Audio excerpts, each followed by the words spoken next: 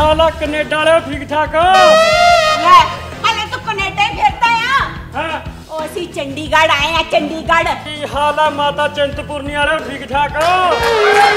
ਓਏ ਇਹ ਸ਼ਹੀਦੋਂ ਦਾ ਅਸਲਾ ਹੈ ਕभी ਵੀ ਚੱਲ ਸਕਦਾ ਹੈ। ਅੱਛਾ ਫਾਜੀ ਸਾਹਿਬ ਇਹਦੇ ਵਿੱਚੋਂ ਗੋਲੀਆਂ ਨਿਕਲਦੀਆਂ ਨੇ। ਇਹ ਚ ਹਰੇ ਹਰੇ ਮਟਰ ਨਿਕਲਦੇ ਆ। ਅੱਛਾ ਆ ਦਿਓ ਅੱਧਾ ਕਿਲੋ ਅੱਜ ਮਟਰ ਪਨੀਰ ਬਣਾਉਣਾ।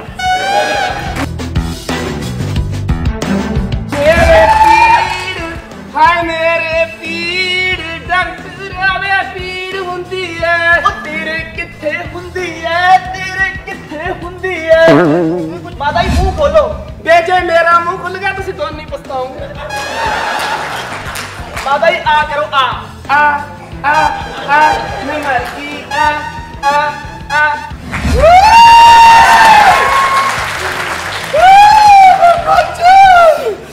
Jara jara touch me, touch me, touch me. Jara jara kiss me, kiss me, kiss me.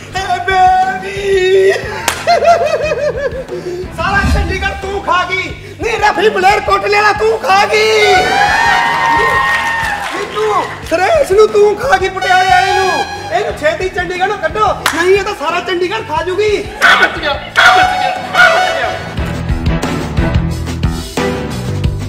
ਆਏ ਕਿੱਥੇ ਚੱਲੋ ਏਡੇ ਏਡੇ ਲਾ ਕੇ ਟੀਕੇ ਗਾਣਾ ਤਾਂ ਸੁਣਾਓ ਕੋਈ ਵਧੀਆ ਜਾ ठीक है काटे नहीं कटते ये दिन ये रात कहने थे तुमसे जो दिल की बात लो आज मैं कहती हूँ क्या क्या कुड़िया कहते बाय बाय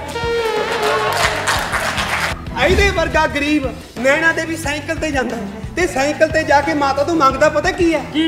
ਹੇ ਮਾਤਾ ਕਿਰਪਾ ਕਰ ਅਸੀਂ ਅਗਲੇ ਸਾਲ ਤੇਰੇ ਕੋਲੇ ਪੈਸੇ ਲਾਈਏ ਓਏ ਗਰੀਬੋ ਮਾਤਾ ਤੋਂ ਗੱਡੀ ਨਾ ਮੰਗਿਓ ਪੜਾਕਾ ਪਾਉਣ ਵਾਲਿਆ ਜਦੋਂ ਤੂੰ ਮੈਨੂੰ ਪਛਾਣ ਲਿਆ ਓਏ ਤੂੰ ਤਾਂ ਮੇਰੇ ਨਾਲ ਸੈਲਫੀਆਂ ਕਰਾਏਗਾ ਸੈਲਫੀਆਂ। ਨਾ ਮੇਰੇ ਪੁੱਤਾਂ ਨੂੰ ਫਾਂਸੀ ਨਹੀਂ ਹੋ ਸਕਦੀ ਮੇਰੇ ਮੇਰੇ ਹੁੰਦੇ ਫਾਂਸੀ ਦੇ ਪੁੱਤ ਮੈਂ ਚੜੂੰਗੀ। ਮੈਂ ਤਾਂ ਦੋ ਰੋਟੀਆਂ ਹੀ ਖਾਣੀਆਂ ਫਾਂਸੀ ਤੇ ਚੜ ਕੇ ਖਾ ਲੂੰਗੀ। ਰੱਬ ਦੋਸ਼ੀ ਹੈ ਰੱਬ ਦੇ ਘਰ ਵਿੱਚ ਰੇਪ ਹੋਇਆ। ਕੀਤਾ ਵੀ ਉਹਦੇ ਭਗਤਾਂ ਨੇ। ਰੱਬ ਤੇ ਕੇਸ ਕਰਨਾ ਬਣਦਾ। ਹੈ। ਰੱਬ ਨੂੰ ਸਜ਼ਾ ਮਿਲੂਗੀ।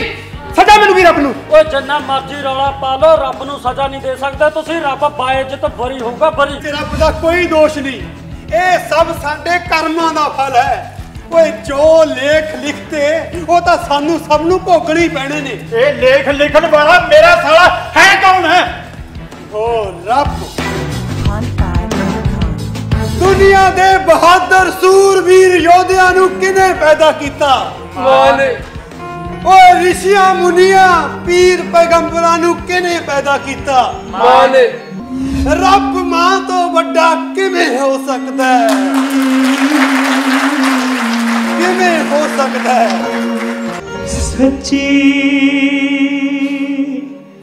ਰੱਬ ਹੈ